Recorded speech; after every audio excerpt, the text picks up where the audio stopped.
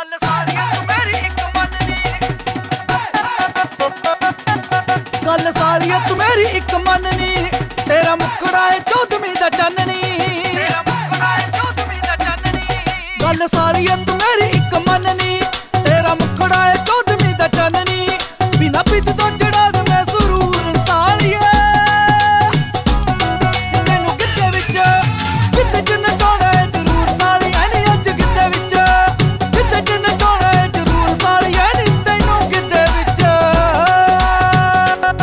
ਮੇਰੇ ਵੀਰ ਦਾ ਵਿਆਹ ਜਿੱਦਾਂ ਮੈਨੂੰ ਬੜਾ ਚਾਹ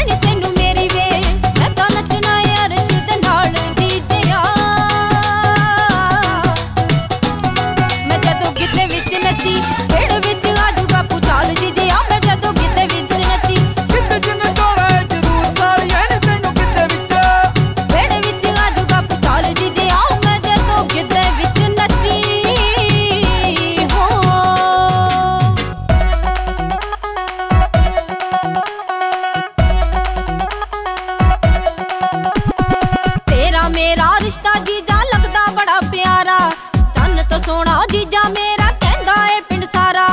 ਤੇਰਾ ਮੇਰਾ ਰਿਸ਼ਤਾ ਜੀਜਾ ਲੱਗਦਾ ਬੜਾ ਪਿਆਰਾ। ਚੰਨ ਤੋਂ ਸੋਹਣਾ ਜੀਜਾ